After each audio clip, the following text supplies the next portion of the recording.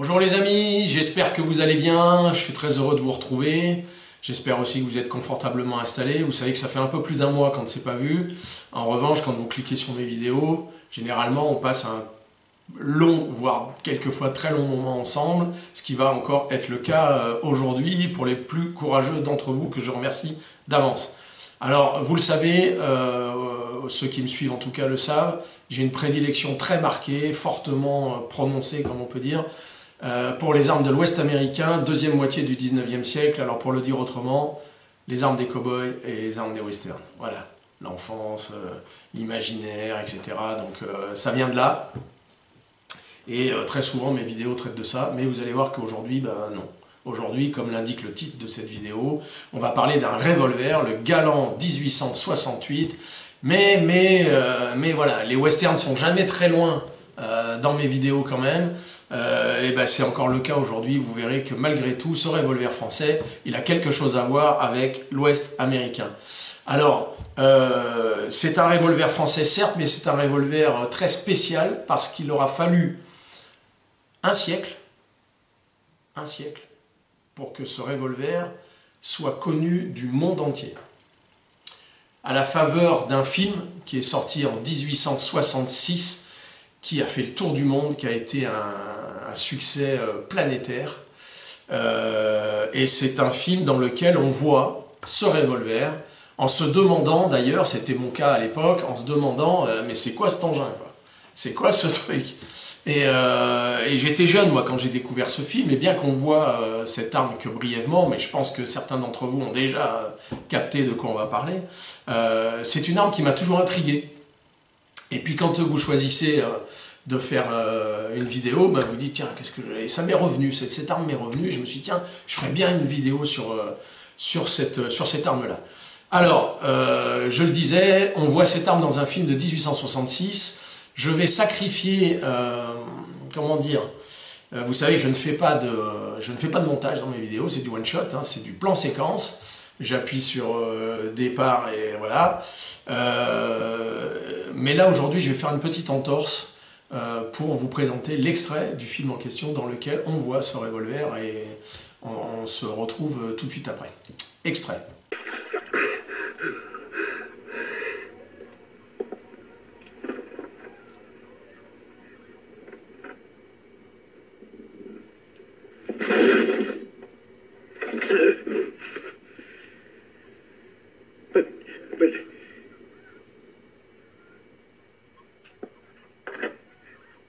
I'm very sorry, but the store's closing.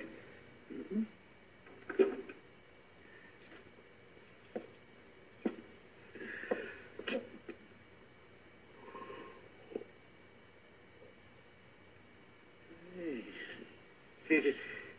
hey. hey. hey.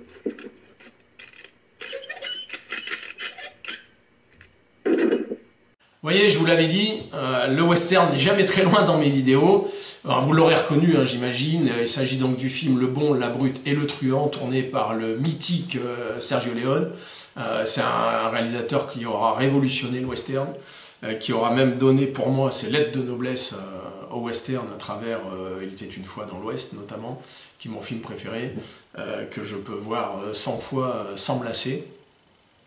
Voilà, donc Le Bon, la Brute et le Truand, tourné en Espagne en 1800, vous voyez, j'allais dire 1866. 1966, et comme on parle d'une arme, euh, on parle d'une arme qui a été créée en 1868, c'est pour ça que je vous disais qu'il a fallu attendre que Le Bon, la Brute et le Truand sortent en, 1966 pour qu'il fasse le tour du monde, que ce soit un carton planétaire et que les gens découvrent, euh, comme vous et moi probablement, euh, c'est quoi ce revolver un peu étrange. Et vous aurez reconnu euh, l'acteur Eli Wallach euh, dans son rôle de Tuco, ce fameux rôle de Tuco, euh, quand il actionne ce revolver. Voilà, enfin, c'est un film mythique. Alors, déjà, on peut se poser une question pourquoi est-ce qu'on voit le revolver galant français donc, dans un western? Même s'il a été tourné en Espagne, l'action se passe aux États-Unis. Euh, alors on l'a vu sur euh, la vidéo sur les revolvers de la guerre de sécession, si vous vous en souvenez, euh, dans laquelle j'expliquais que les armées du Nord et les armées du Sud s'étaient abondamment fournies, en particulier le Sud, sur les marchés extérieurs, puisque le Sud, je le rappelle, n'avait que très peu d'industrie, voire pas du tout d'industrie vraiment armurière, et tout était au Nord dans le Massachusetts, dans le Connecticut, etc. Euh, et c'est là où on retrouvait Colt, Remington et tout dans, dans, les armuriers du Nord et très peu dans le Sud. Donc effectivement, le Sud s'est abondamment euh, euh, fourni sur les marchés extérieurs que sont les marchés européens. Euh, en envoyant des émissaires pour acheter des armes et tout. Donc ils ont acheté des armes françaises, belges, espagnoles, euh, tout ce qu'on veut, euh, anglaises. et donc c'est pas tout à, pardon, c'est pas tout à fait anormal de voir un revolver français dans un western. C'est même très cohérent. ce qui n'est pas cohérent en revanche, c'est de trouver ce revolver.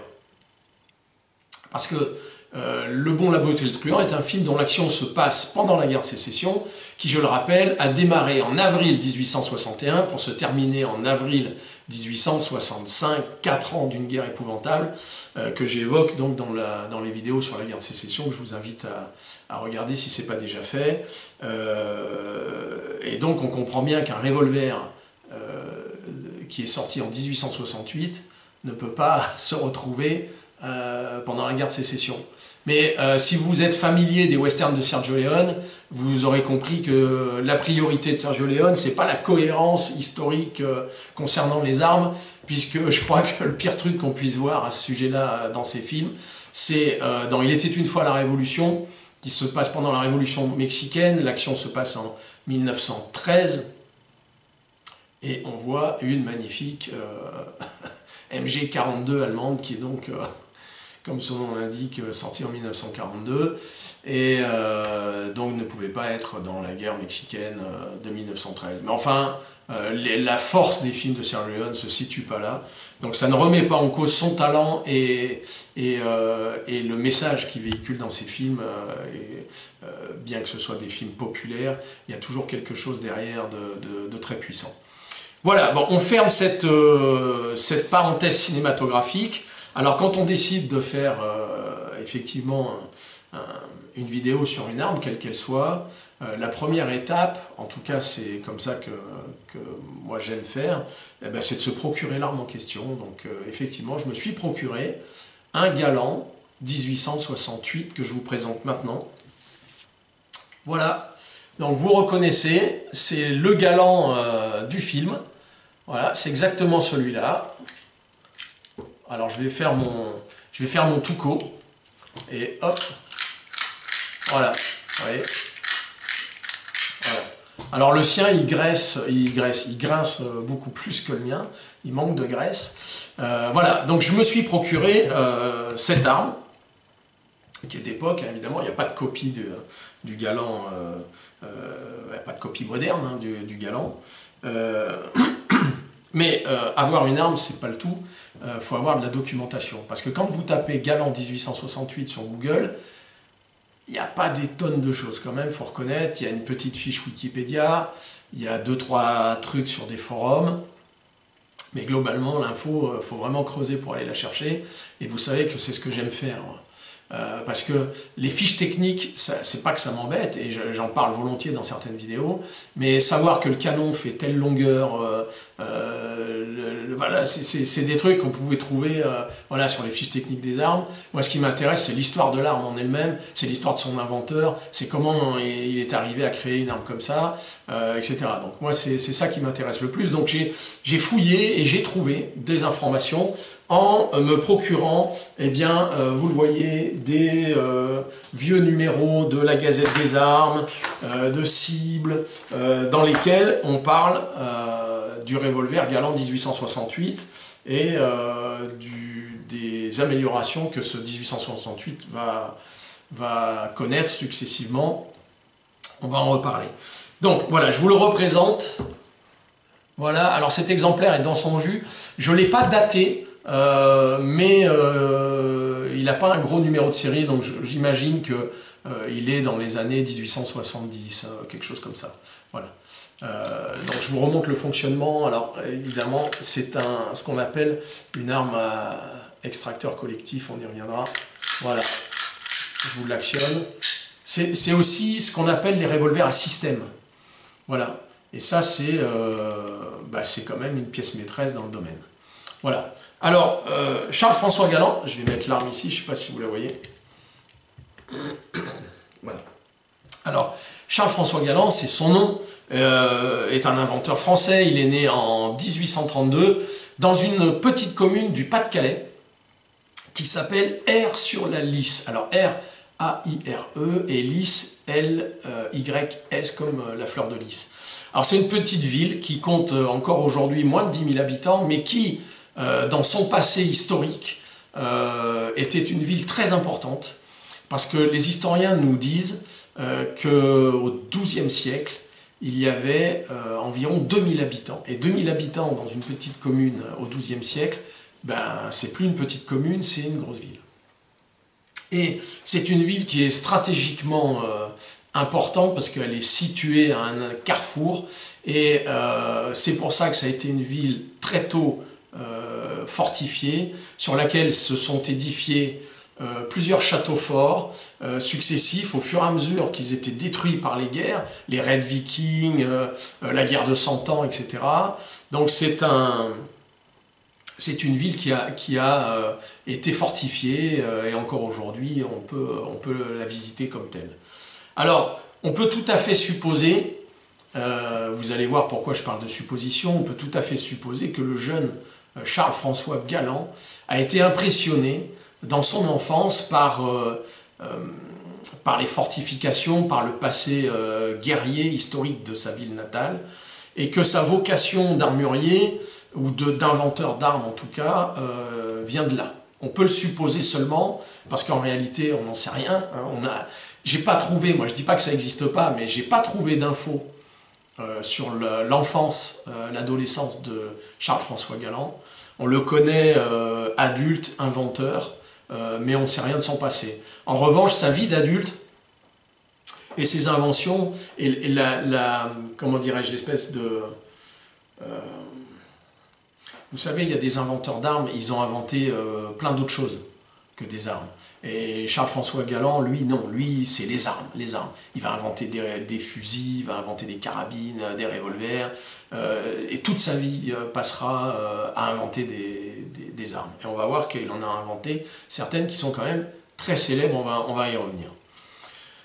Alors, notamment, d'ailleurs, on va y revenir tout de suite, on doit à Charles-François Galland, on doit le tutu. Je ne sais pas si ça vous parle le revolver tutu. Voilà.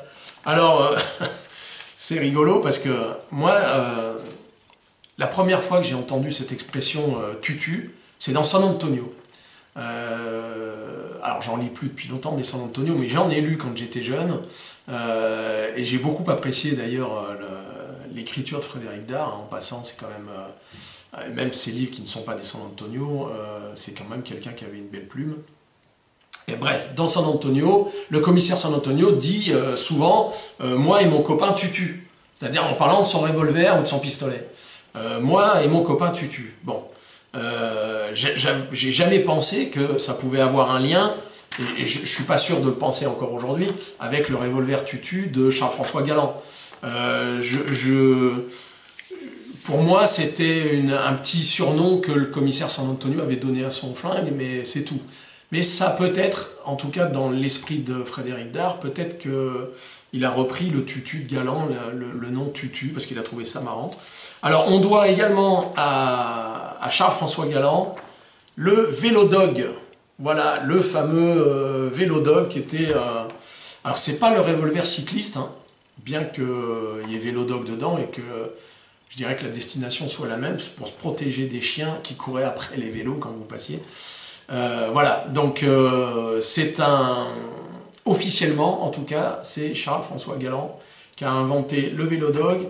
Euh, c'est un brevet qui a été déposé en 1904.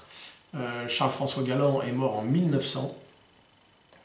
Et c'est son fils qui a déposé le brevet, mais les historiens pensent que, parce que son fils travaillait avec lui, on va le voir, mais les historiens pensent quand même que c'est une invention du père. Voilà, alors ce qu'il faut savoir sur Charles-François Galland encore, et là on va rentrer dans quelque chose d'assez particulier, qui j'espère va vous intéresser, c'est que Charles-François Galland il avait deux adresses. L'une en Belgique à Liège, et une autre à Paris, en France à Paris. Euh, pour euh, le dire simplement, euh, Liège, c'était la conception et la fabrication. Bien qu'on sait que Charles-François Galland a fait fabriquer une partie de ses revolvers aussi en Angleterre, mais quand même essentiellement en Belgique, et que Paris, c'était quelque part la vitrine et la vente. Voilà. Donc la Belgique, fabrication, conception, fabrication, Paris, vitrine, vente. Alors, euh, une question que je me suis posée, c'est pourquoi un Français va-t-il s'installer en Belgique? Et là, vous allez voir que c'est intéressant. Pourquoi un inventeur français, euh, qui par ailleurs s'installe à Paris, pourquoi va-t-il s'installer en Belgique?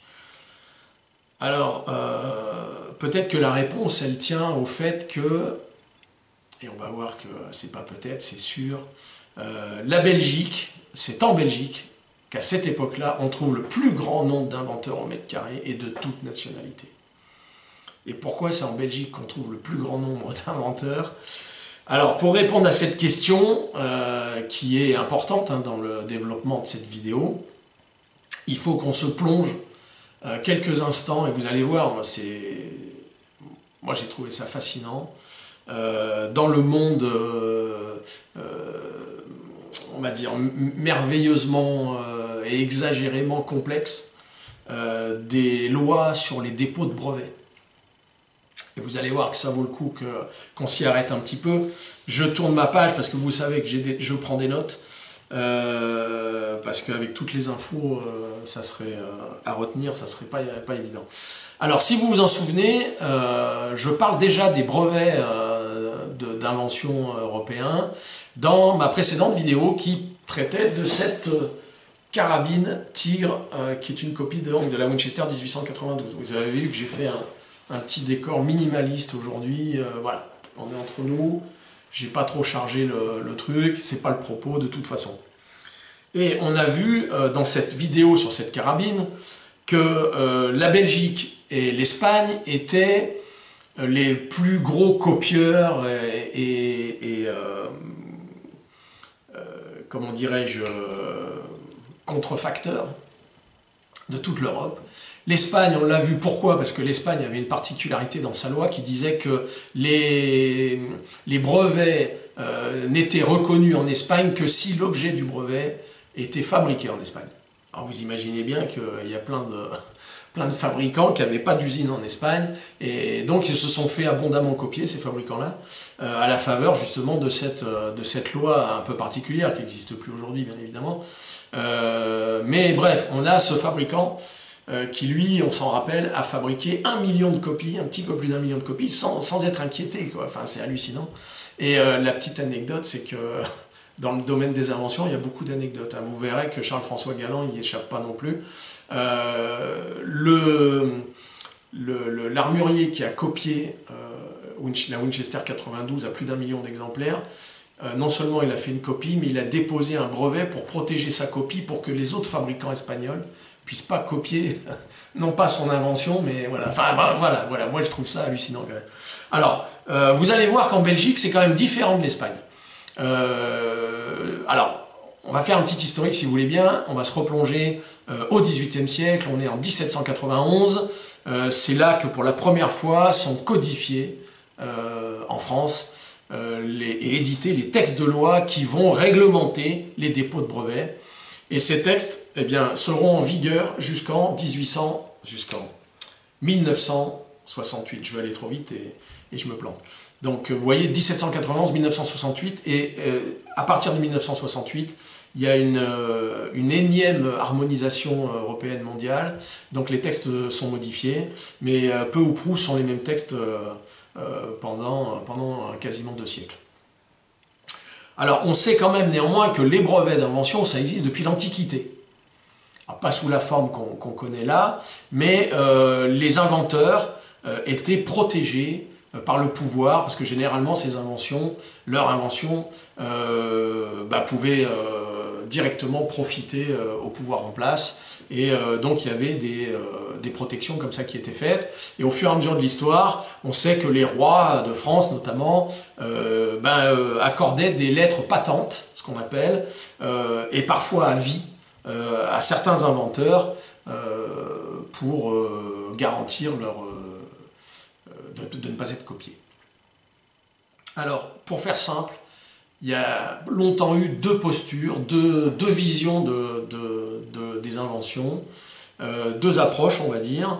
Euh, soit on impose des règles très strictes sur les dépôts de brevets, soit des règles souples. Et on va voir que dans les deux cas, euh, les arguments s'entendent et, sont pertinents. Voilà, c'est ce que j'ai découvert en m'intéressant à l'histoire des brevets en Europe. Je vous invite d'ailleurs à vous y intéresser également. Vous tapez Histoire des brevets euh, d'invention en Europe. Vous avez deux, trois euh, bouquins qui sortent en PDF. Prenez le temps de les lire. Moi, c'est vraiment des très très gros raccourcis que je prends ici parce que c'est quand même des, bouquins importants. Et si je me mettais à rentrer dans tous les détails, on n'en finirait plus, puis on sortirait du sujet de, la vidéo. Alors, donc, il y a deux façons euh, d'appréhender le, brevet d'invention. Et euh, la première façon, ça a été, euh, qui était une façon noble, j'ai envie de dire, c'était est-ce que cette invention est profitable au plus grand nombre? Ou est-ce que c'est une invention qui profite qu'à quelques-uns, voire à un seul homme?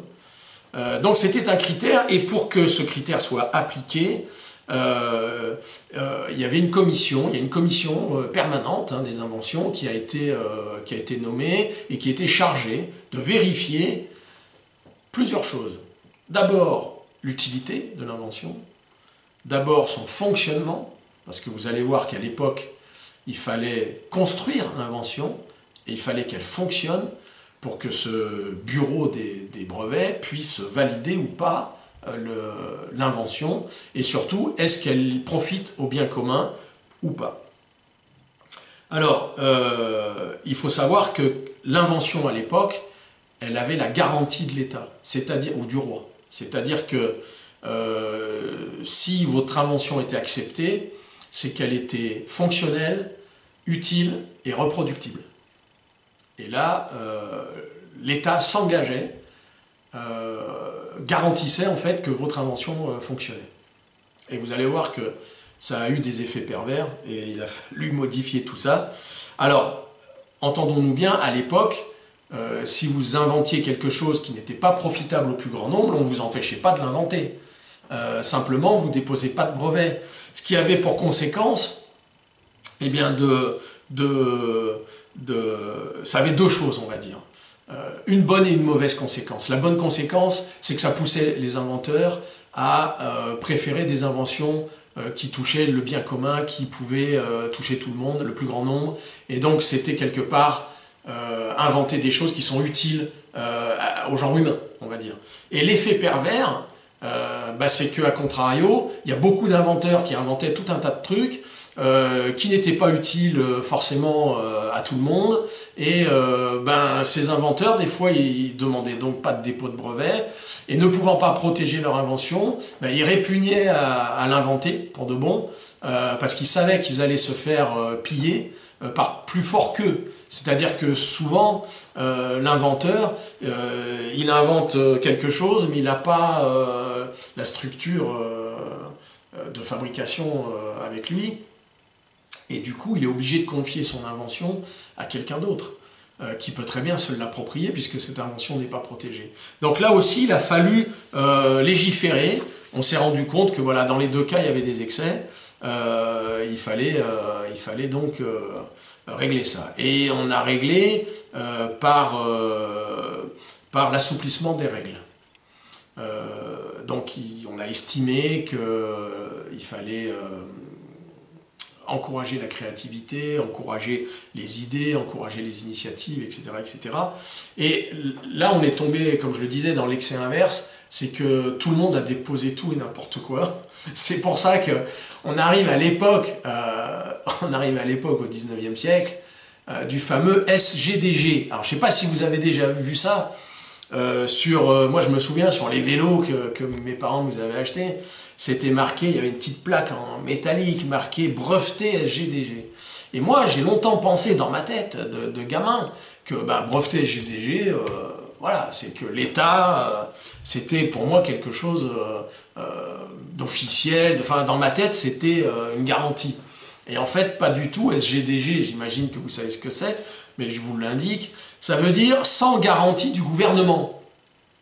Parce qu'avec l'assouplissement des règles, euh, tout le monde faisait n'importe quoi. Il n'y avait plus besoin, euh, évidemment, euh, de, déposer l'invention construite, fonctionnelle. il suffisait dorénavant de, de, faire des plans et de dire, voilà, ben, moi j'ai inventé ça, moi ça fonctionne, etc. Donc, pour pallier au fait qu'on ne pouvait pas vérifier si ça fonctionnait, l'État s'est désengagé puisqu'on l'a vu jusqu'à présent, l'État garantissait le bon fonctionnement de l'invention. Là, c'est plus le cas, donc hop, SGDG, sans garantie de l'État. Et le texte, je vous le dis, c'est un texte qui date du 5 juillet 1844, je me refais à, mes, petites notes pour pas faire d'erreur. Donc les, brevets sont délivrés sans examen préalable, au risque et péril des demandeurs, donc de ceux qui déposent le brevet, et sans garantie soit de la réalité, soit de la nouveauté, ou du mérite de l'invention, soit de la fidélité ou de l'exactitude de la description. Voilà, encore une fois, ça dégageait l'État de toute euh, responsabilité, mais votre invention euh, était quand même protégée. Mais pour revenir à Charles-François Galland, vous allez voir que ce n'est pas uniquement pour ça euh, qu'il est allé en Belgique, parce que ça ne répond toujours pas à la question pourquoi il est allé en Belgique. Parce qu'en Belgique, c'est très simple. En Belgique, n'importe quel brevet, n'importe quel dessin sur un bout de papier, c'est 10 francs le dépôt et c'est garanti 20 ans. Faut savoir qu'on est, euh, c'est le dépôt le moins cher d'Europe. Hein. Euh, il y a des dépôts qui coûtent jusqu'à 10, 15, 20 fois plus cher qu'en Belgique. Il y a des contraintes dans certains pays qui sont que, euh, bah, en France notamment, sur la durée, c'est 5 ans, 10 ans, 15 ans. Voilà. La Belgique, ils se sont dit, ils ont vu les choses autrement, ils se sont dit, nous, on va attirer tous les inventeurs d'Europe et du monde entier, si possible, euh, en faisant le dépôt de brevet le moins cher et euh, qui protège le plus longtemps. Donc 10 francs, 20 ans. Donc tout le monde allait en Belgique. C'est ce qui explique pourquoi même Charles-François Galland, inventeur français, bah, il va déposer en Belgique. Tout simplement. Et vous allez voir que Alors, autant, évidemment, c'est là où il y a le plus d'inventeurs, mais c'est là où il y a le plus de procès aussi. Parce que, en fait, euh, euh, vous l'avez compris, il n'est plus nécessaire d'être un réel inventeur. Vous pouvez piller l'invention de votre voisin. C'est-à-dire, votre voisin, il a mis une vis sur son invention. Vous prenez ses plans, vous mettez deux vis, et vous déposez le, brevet à son nom. Et le jour où le vrai inventeur, le vrai, euh, il se dit, tiens, je vais mettre deux vis, il y a le mec qui venait et disait Oh, il y a deux vis sur mon invention. Ah ouais, mais c'est la mienne d'invention. Ouais, mais c'est pas grave, moi j'ai mis deux vis, toi t'en as mis qu'une, donc tu payes. Et vous avez compris que c'était un moyen euh, de soutirer de l'argent aux inventeurs. C'est un peu ce qui se passe dans le milieu immobilier. Quand vous avez euh, un gros programme immobilier, vous avez toujours des recours. Des voisins, euh, ça me cache la vue, la biodiversité, le machin. Alors des fois c'est fondé. Et souvent, c'est pour soutirer de l'argent aux promoteurs.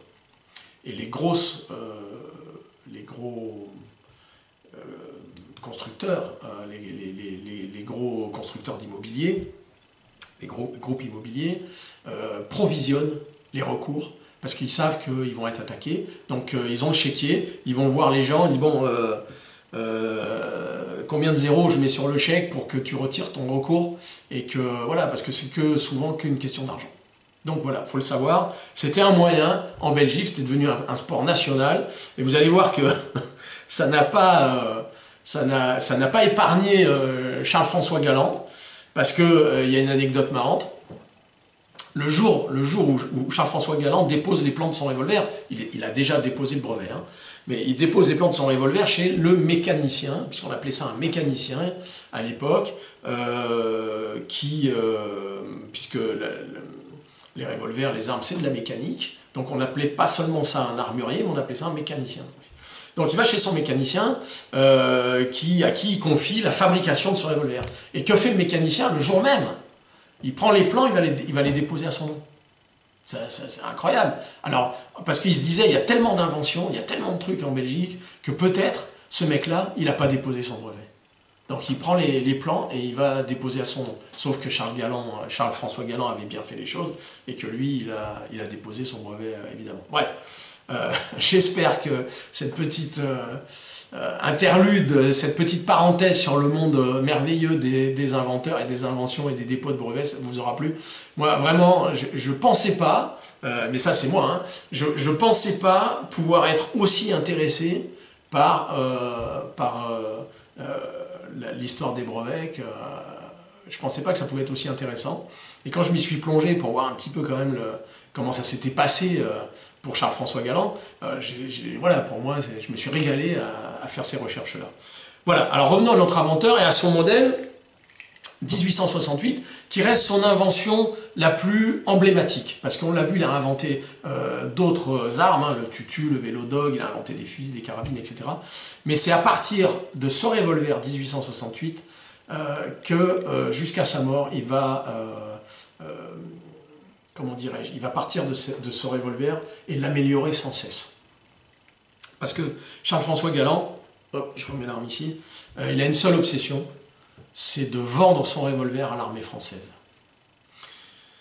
Alors, euh, son revolver équipe déjà euh, énormément d'officiers français qui se le sont euh, payés eux-mêmes, hein, voilà, parce que ce revolver, il jouit d'une réputation de solidité, de fiabilité, qui fait que les officiers, et puis le système, parce que j'ai oublié de vous dire quand même que ce système, c'est le premier revolver à extracteur collectif.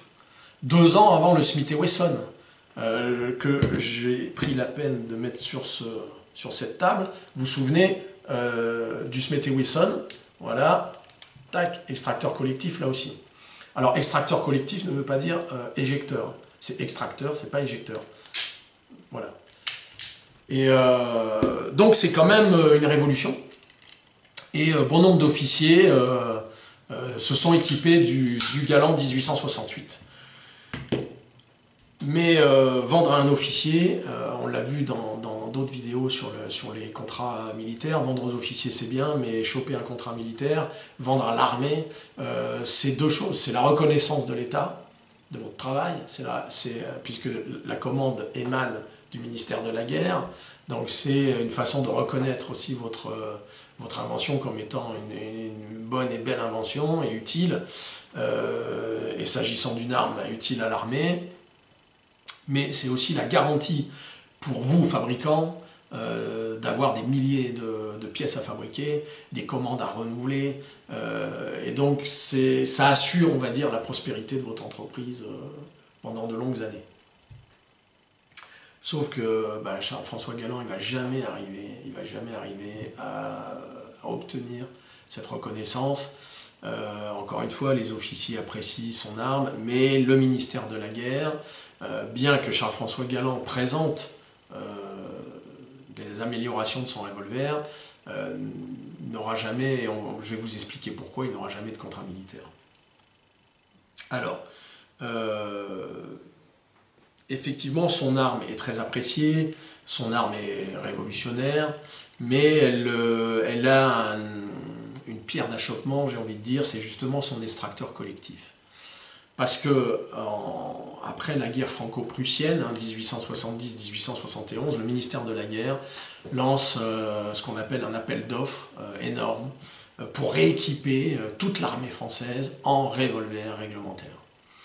Et euh, à cette occasion, le ministère de l'Armée met en place un cahier des charges avec euh, un certain nombre d'exigences, dont une qui va évidemment contrarier notre inventeur, c'est que tout euh, extracteur collectif est proscrit.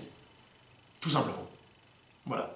Donc on comprend que euh, pour euh, Charles-François Galland, ça soit un peu euh, une déception parce que son arme est appréciée, mais finalement on la rejette officiellement, donc il ne va pas pouvoir présenter cette arme-là. Mais ça ne le décourage pas parce qu'il va l'améliorer et vous allez voir comment. Lui, il se fie à ce que le ministère de la Guerre a mis en place, à savoir un, une arme militaire, se doit d'être simple, rustique et surtout pas trop compliqué pour l'homme de troupe. Autant l'officier, euh, un revolver à système, il peut peut-être arriver à s'en sortir, euh, il a euh, les connaissances, le savoir, l'instruction, etc. L'homme de troupe, bon, il faut des choses simples, robustes, rustiques, voilà, on ne se pose pas trop de questions. Et donc, Charles-François Galland va s'atteler à améliorer son revolver. Donc, il va supprimer effectivement cette partie-là. Il va fermer le cadre, parce que vous l'avez vu, on est sur un cadre ouvert type Colt. Il va faire un cadre fermé, donc ce qui va évidemment ajouter de, la robustesse à son, arme. Et euh, il va même déposer plusieurs brevets d'amélioration hein, euh, de, ça. Et en 1872, son revolver est fin prêt. Je vous le montre, c'est celui-là. Voilà. C'est celui-là. Voilà, c'est celui-là. Vous voyez, là on part du 1868, qui est ici, et en dessous on a l'aboutissement, le, 1872. Et comment il va l'appeler? Euh, Eh bien il va l'appeler le galant de guerre. Voilà, pas très inventif quand même, on l'a vu. Euh, il n'y a pas que lui, on l'a vu avec Smith et Wesson, hein, je vous rappelle sur la vidéo sur l'histoire de Smith et Wesson. Les noms étaient quand même, ils n'allaient pas chercher très loin pour, pour donner des noms à, à leurs armes. Euh, donc le galant de guerre, mais le galant de guerre, il est effectivement, euh, il répond au cahier des charges euh, du ministère de la guerre, mais il a un concurrent sérieux, le galant de guerre, et vous allez le voir, le concurrent sérieux, vous le savez pour ceux qui s'intéressent au revolver réglementaire de l'armée française, le concurrent sérieux, c'est le Chamelot et Delvigne.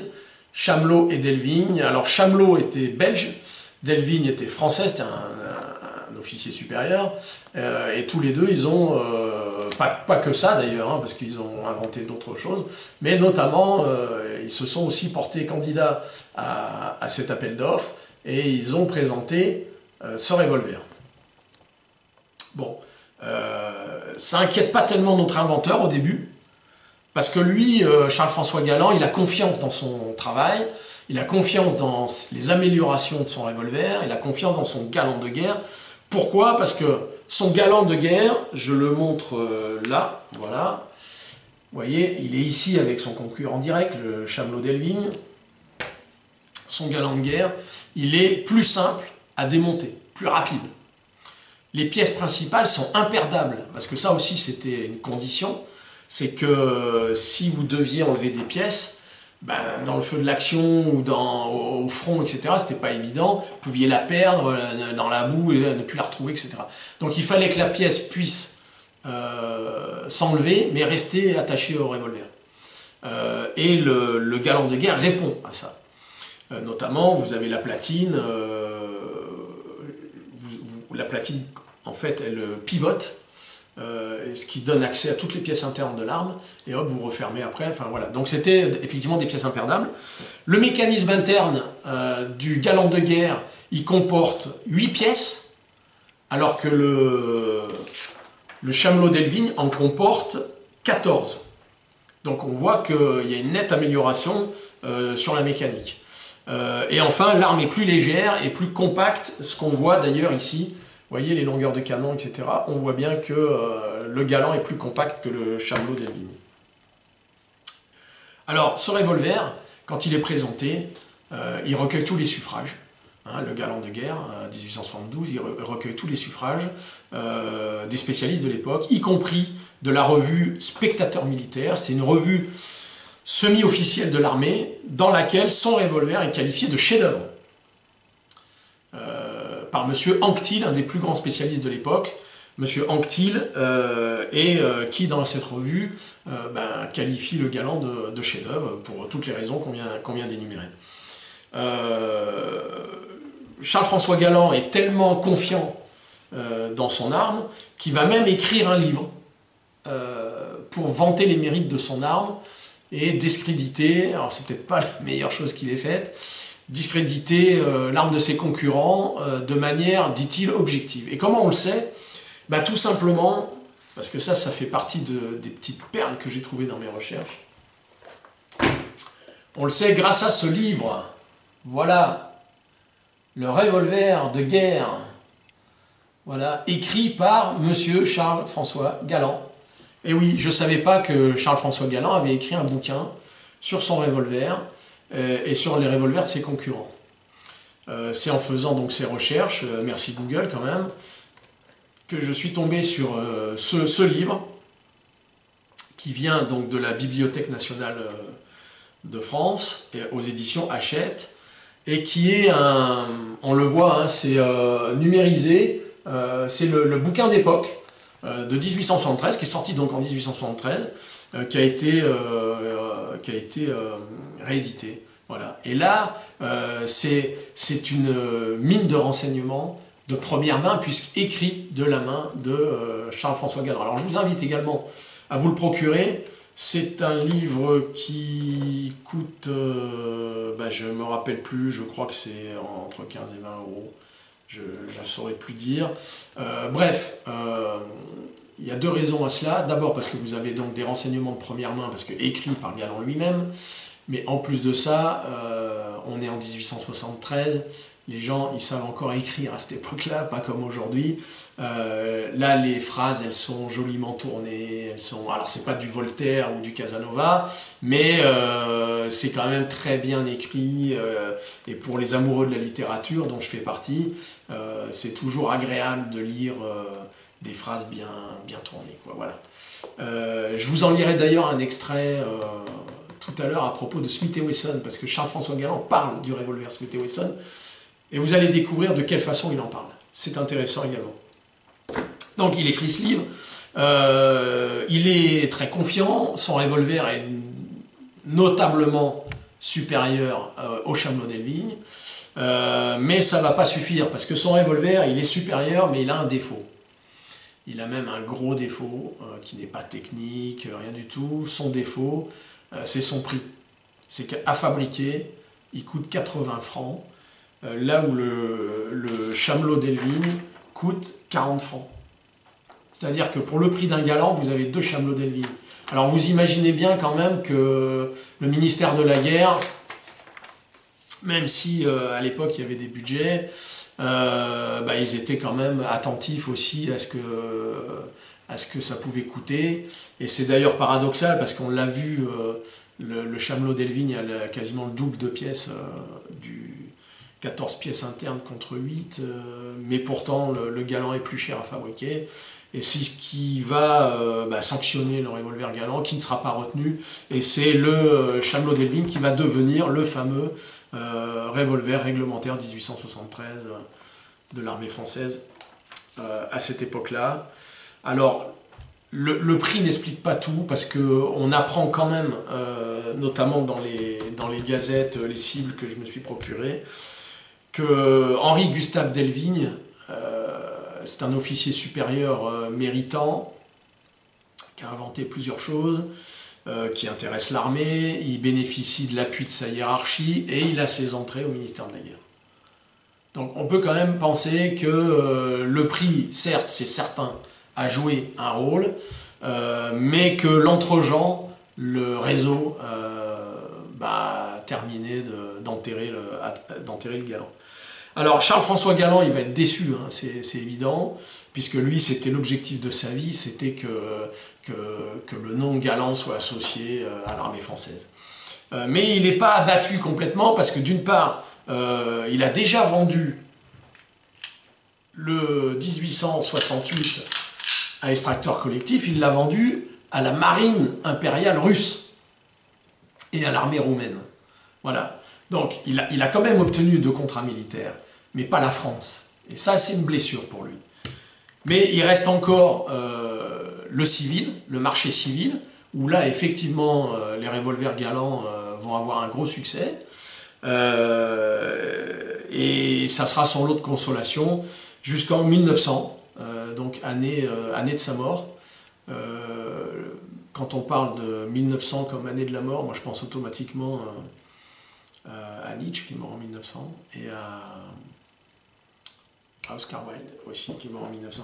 Alors, euh, il est mort à 68 ans à Solterre dans le Loiret. c'est son fils dont on n'a pas trop d'infos sur son fils, sinon qu'il s'appelait René Charles Galland, qui va donc poursuivre, puisqu'il travaille avec son père, va poursuivre l'œuvre de son père jusqu'à sa propre mort à lui en 1934. et l'entreprise Galant fermera définitivement ses portes en 1942. Alors, cette vidéo est terminée. Voilà, j'espère qu'elle vous aura plu. Elle n'est pas complètement terminée, attention. je vous ai promis la lecture sur ce que dit Galant de Smith et Wesson. Vraiment, essayez de vous procurer ce bouquin, c'est magique. Alors, je, vous le lis. Hein. Euh, pour ce qui est du revolver, après les Colt et deux ou trois modèles moins répandus, apparu il y a bien des années déjà le Smith Wesson, qui sans délai a acquis une grande réputation et jouit d'un succès aussi positif que justement mérité. Il n'est personne qui ne connaisse ce joli revolver d'une si belle facture, d'une élégance si correcte, qui nous a révélé à tous, armuriers d'Europe, à quel degré de fini, d'ajustage et de parfaite exécution on peut arriver avec l'aide de la mécanique. Il eût été impossible de rien achever manuellement avec autant de perfection, ce qui n'empêche pas, petit pic au passage, euh, à ses euh, collègues armuriers, ce qui n'empêche pas certains armuriers de Paris de prétendre que la lime de l'ouvrier est plus exacte que la fraise du mécanicien et qu'en hachant et tailladant avec le burin, ils font mieux et plus juste, que l'outil puissant, mathématiquement dirigé, sous la dent duquel le fer et l'acier se découpent sans effort et se façonnent avec tant de rectitude. Toujours est-il que le Smith Wesson obtint un accueil très flatteur. L'arme était précise au tir, sa munition très bien faite et la pénétration relativement considérable. Alors il faut savoir que à cet instant-là euh, du, récit, euh, Charles-François Galland parle de ce Smith Wesson, le numéro 2 en 32 Smith Wesson. Voilà, percussion annulaire. Il parle de ce revolver-là. Vous allez comprendre. Donc, euh, c'est plus de qualité qu'il en était besoin pour distancer les revolvers si défectueux de l'époque. Donc là, Charles-François Galland, il place le Smith Wesson au-dessus des autres revolvers. Mais vous allez voir que, quand même, bon, c'est rigolo. Mais si ce revolver devint d'emblée l'arme du gentleman, il ne put arriver à se faire admettre comme arme de guerre. Pour le charger et pour le décharger, il fallait faire basculer le canon, enlever le cylindre, donc le barillet. Cette pièce pouvait s'échapper, glisser des doigts, rouler, se perdre. Et l'arme du soldat ne peut comporter ce grave défaut. Il n'avait pas de camp de sûreté, le percuteur pouvait toujours reposer euh, sur le bord de la capsule renfermant le fulminate, et la moindre chute, le plus léger choc, l'accrochage du chien, etc., rentrant et sortant l'arme du fourreau, pouvait déterminer une explosion. En outre, ce revolver ne pouvait être tiré autrement qu'en armant le chien à chaque coup, donc simple action. Euh, et si certaines gens tolèrent cette pénurie de moyens, voyez, on commence déjà, c'est le meilleur revolver, on commence déjà à lui tailler un costard. Euh, il en est bien d'autres qui tiennent à tous les avantages du double mouvement, donc de la double action, et préfèrent avoir le choix de tirer vivement en pressant la détente sans se préoccuper d'armer, ou de pouvoir relever le chien pour viser. Ce beau revolver, revolver n'eut donc pas de succès militaire, ce qui n'empêcha pas les inventeurs, fidèles aux habitudes américaines, c'est important ça, ce qui n'empêcha pas les inventeurs fidèles aux habitudes américaines de ne pas modifier leur, leur invention et d'attendre. Donc, les armuriers euh, européens considéraient que les Américains, bon, très bons inventeurs, mais ils n'amélioraient pas leur invention. C'est-à-dire que c'est pas complètement faux. Hein. Quand, on, regarde les inventions de Colt, il est resté très très longtemps sur le cadre fermé. Euh, et puis, euh, d'ailleurs, lui-même de son vivant n'a connu que des cadres fermés, à part le petit revolver 1855, mais qui n'est pas sa fabrique, qui est fabriqué par Colt, mais c'est pas lui qui l'a inventé. Euh, donc euh, il a fallu attendre 1873 pour voir un cadre fermé chez Colt. Donc c'est pas faux que, euh, voilà, c'est quand même, c'est marrant de relever ça. mais un beau jour, ils, donc les armuriers américains, les inventeurs américains, purent apprendre que leurs confrères d'Europe étaient sortis de leur engourdissement. C'est-à-dire Galland considérait que les armuriers d'Europe étaient engourdis, ne créaient pas assez, n'inventaient pas assez. Ils purent savoir que des revolvers à extracteurs étaient apparus qui produisirent une grande sensation. Ils furent prévenus que l'un de ces revolvers était adopté en Russie pour le service de la marine. Donc évidemment, Charles-François Galland parle de son propre revolver, vous l'avez compris.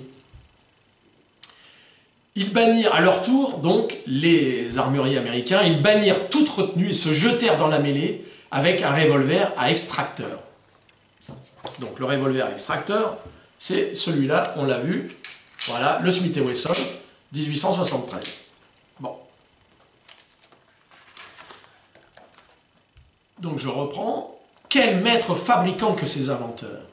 Et comme leur nouvelle arme, si lourde, si massive, est admirablement exécutée. Et c'est vrai que, euh, bon, ça c'est le Scofield, hein, c'est l'évolution euh, du, Smith euh, Top Break numéro 3. donc évidemment, le Scofield, le, Galant ne connaissait pas encore, mais le Top Break numéro 3 reprend, le Smith numéro 3 reprend le, le, même design et la même chose, même extracteur, etc. Donc, euh, admirablement exécuté. Donc il reconnaît quand même que c'est fabuleux. Si ce revolver avait été conçu et construit en Europe, il ne serait pas sorti de l'atelier de l'ouvrier. Parce que l'ouvrier n'a jamais pu sortir une arme comme ça. Voilà, il faut que ce soit l'industrie qui sorte des armes comme ça. La mécanique, les machines lui ont procuré un si bel aspect, une si avenante prestance, qu'il fut admis en Russie pour le service de la guerre, d'emblée, de confiance, sans essai peut-être. Euh, mais là, il taille un petit peu, vous allez voir. Mais notre euh, La Fontaine l'a dit, il faut se garder de juger les gens sur la mine et de juger les revolvers aussi, ajoute notre, notre ami Galant, car il paraît que la conduite du nouveau Smith Wesson à extracteur laisse à désirer. Nonobstant son air de distinction, son apparence digne et respectable, on prétend qu'il rend difficilement ce qu'on lui prête. Et la Russie, assure-t-on, lui a signifié qu'elle rompait avec lui. Alors on sait que c'est faux, hein, évidemment. Euh, c'est dur, mais c'est mérité, euh, ajoute, euh, ajoute Galant. et là, il enfonce le clou, il dit en bonne conscience. Quand on s'appelle Smith et Wesson, on ne fait pas un revolver après les autres. Sous-entendu, on invente avant les autres l'extracteur. on ne rappelle pas son extracteur avec un ressort à boudin. On ne le chasse pas avec un engrenage en brisant son arme en deux. N'étant la brillante exécution de ce revolver quel affreux engin C'est là. Voilà ce que dit. Euh, revolver Smith Wesson, c'est le meilleur de tous les revolvers par rapport aux armuriers européens qui sont engourdis. Euh, en revanche, il taille un costard quand même comme il faut. Euh, bon, ben voilà. C'est pour ça que je dis que quand il a sorti ce bouquin à l'appui de, son, revolver 1872, c'est peut-être pas la meilleure idée qu'il ait eue pour bien se faire voir des autres. Hein, on est d'accord, puisqu'il leur taille quand même un, costard. Euh, voilà, bon. Euh, après, il part sur les, inventeurs euh, anglais. Bref, voilà. Donc, pour finir comme on a commencé, on a commencé par le bon, la brute et le truand. Alors, on va pas finir par un extrait de film. on va juste parler d'un documentaire qui se trouve sur Netflix qui s'appelle Sad Hill. S-A-D-H-I-2-L donc SAD, plus loin Hill, Sad Hill, qui est le cimetière de Sad Hill. C'est un documentaire sur le cimetière de Sad Hill que l'on voit, qui a été entièrement construit, hein, entièrement construit euh, par les équipes de Sergio Leone, notamment euh, l'armée euh, espagnole, puisque le film, je le rappelle, a été tourné en Espagne. Ils ont, au milieu de la pampa comme ça, ils ont, ils ont créé un cimetière de plusieurs milliers de tombes. Et on le voit dans le film, hein, il, y en a, il y en a à l'infini. Euh, et ce cimetière, après le tournage, avait complètement été abandonné. Les croix se sont écroulées, tout a, enfin voilà. Et dans les années 2010, euh, une association a décidé de redonner vie euh, à, ce, cimetière mythique, hein, voilà. cimetière qui, je rappelle dans le film, c'est la scène finale du, du duel à Troyes. donc le, le truel, j'allais dire, le triel, le triel, bon bref, euh, qui, est, pour moi une des plus belles scènes jamais tournées euh, par Sergio Leone, euh, qui est d'une longueur impossible, mais c'est ça, Sergio Leone, il avait le sens de la lenteur, quoi, mais il savait la rendre. on était, on voit pas le temps passer, quoi, c'est extraordinaire. On rappelle quand même que l'intro, je crois que c'est 19, c'est 16 ou 19 minutes, hein, l'intro de Il était une fois dans l'Ouest. Hein. Euh, avant que soient prononcés les premiers mots. Je crois que ça dure 16 minutes, un truc comme ça. Enfin, c'est hallucinant, quoi. Euh, mais c'est un chef-d'œuvre. Euh, donc, cette association espagnole a lancé euh, sur les réseaux sociaux leur, leur, volonté de vouloir faire ça. Ils ont récolté des dons, ils ont euh, avec de, de, manière très très très sympa d'ailleurs. C'est-à-dire que si vous faisiez un don à l'association, eh bien vous aviez une croix à votre nom dans le cimetière. Moi je trouve ça fabuleux. J'ai pas eu connaissance de ça à l'époque, mais franchement j'aurais joué le jeu et j'aurais mon nom au cimetière de Sad Hill parce que franchement moi je suis fan du film et si j'avais eu, si j'avais su ça, peut-être même je me serais rendu en Espagne pour donner un coup de main. Donc ce documentaire raconte tout ça. Et, et je vous raconte pas la fin, en tout cas, parce que évidemment, une fois le cimetière terminé, il s'est passé un gros événement euh, sur ce cimetière, dans ce cimetière. Euh, et je vous raconte pas parce que c'est presque, euh, c'est tellement émouvant ce documentaire que j'avais les yeux qui brillaient. J'ai pas honte de le dire, j'avais presque la larme à l'œil, les yeux qui brillaient de, de, larmes parce que c'est extrêmement prenant. Euh, c'est très très émouvant comme, documentaire. Voilà, donc je voulais, je voulais euh, clôturer là-dessus. On a ouvert avec le bon le le truand, on ferme avec le bon la le truand. Voilà. Euh, J'espère que cette vidéo vous a plu. Encore une fois, euh, bah, je vous ai pas parlé des différents calibres, je vous ai pas parlé des, des, des, voilà. Enfin, je suis pas rentré dans trop de détails techniques. Euh, je me suis plutôt attaché à raconter l'histoire de, François, de Charles-François Galland, de ses inventions, de ses échecs euh, euh, auprès du ministère de la Guerre, etc. De, voilà, de, et puis de l'histoire un petit peu des, des, inventeurs et des, des brevets d'invention en Europe à cette époque-là, que j'ai trouvé très intéressant pour ma part. Voilà, j'espère que ça vous a plu. Je vous dis à très bientôt les amis. Je collecte toujours pour une très grosse vidéo sur Colt des infos et des armes. Euh, elle va arriver bientôt, j'espère bientôt, parce qu'il y a longtemps que je vous l'annonce quand même. Mais là, c'est un très très gros travail. Hein. Ça va durer, euh, euh, je pense, facilement une heure et demie. Dites-moi d'ailleurs si vous préférez pas avoir des vidéos. alors des vidéos de moins d'une heure, je je les ferai pas en deux parties, hein. mais, mais des vidéos d'une heure ou d'une heure et demie, est-ce que vous préférez deux parties ou, ou vraiment vous caler devant? Et, vous, vous, bah, vous, me regardez comme vous regardez un film, ou comme si, euh, dans vos commentaires d'ailleurs, et beaucoup l'ont dit, euh, et c'est ce que je ressens moi-même, on a l'impression d'être dans la même pièce, on se parle, je, vous êtes assis en face de moi, et, et puis voilà, je, je, vous, raconte l'histoire. Euh, voilà, bah, dites-moi un petit peu ce que vous préférez. moi j'aime bien les one-shots, j'aime bien, voilà, ça se trouve que c'est un exercice intéressant. moi je m'y sens bien, et puis il n'y a pas de il euh, n'y a pas de montage, il n'y a pas de... A pas de tricherie, quand je me trompe, ça m'est arrivé plusieurs fois, euh, bah, je me reprends et puis, et puis voilà. Bref, euh, je vous dis à très bientôt les amis. N'hésitez pas, alors j'ai appris récemment qu'il fallait que vous appuyiez sur la cloche. je ne savais pas à quoi servait cette cloche, c'est pour recevoir la notification des nouvelles vidéos. Voilà. Mais bon, voilà, bon, abonnez-vous, faites abonner vos amis. on est de plus en plus nombreux. Euh, et franchement, ça c'est incroyable. Euh, et euh, bah voilà, likez, n'hésitez pas à commenter. Il paraît que c'est très bon pour le référencement de la vidéo. Bon, je savais pas, je découvre un peu le monde de YouTube, de, comment ça fonctionne. Voilà, prenez soin de vous. J'ai été très très heureux de vous présenter cette vidéo. J'espère que vous serez très heureux de la regarder. Voilà. bye bye, à bientôt. Ciao.